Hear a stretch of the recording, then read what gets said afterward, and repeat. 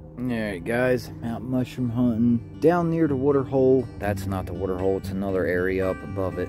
Anyways, there's a dead tree back here and lots and lots of mushrooms that I've been wanting to show for a long time now. Uh, wait till you see this. Um, let me try to find the easiest way to get through here. It is really thick in this spot. Big old, looks like something was digging or has a home down there. It's still the same tree.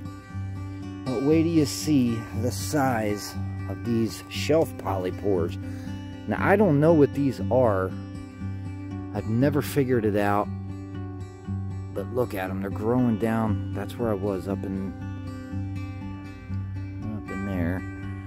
And they're growing down this whole entire tree. Look how big this guy is. Look at that bigger than my hand. And these got a really strong smell of black licorice to them.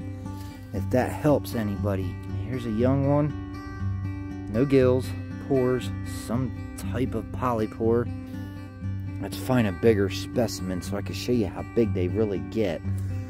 This guy down here. Hold on, let's go around.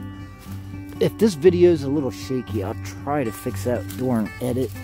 I apologize if it is. Yeah, look at them all.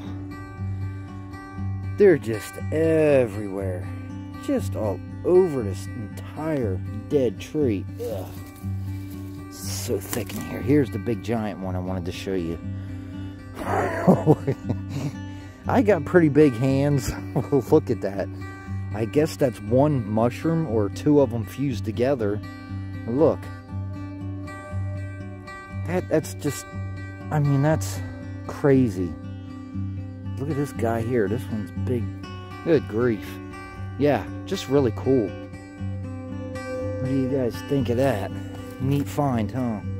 Of course, I've always known they grown grown in here. Yeah, mind my huffing and puffing. It's really humid and hot today and really, really thick up in here. And I see something growing out of the ground right there. I don't know what it is, but isn't that neat? Let's see. What do we got going here? Oh, I don't know what those are. Yeah, this guy here I just showed that's as big as my half of my arm there is really smelling like black licorice. They don't bruise any different colors or anything. I've already tried doing that, but look at that. Pretty clean. Nothing really ate that one yet let's end this.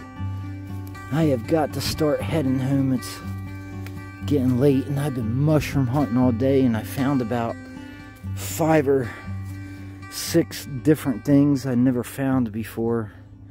I'll just give you a peek at the woods. It's right above the water hole. You guys know what those big suckers are. Please comment in the description below. And if you like this, subscribe, share it, all that good jazz. And until next time, bye for now, guys.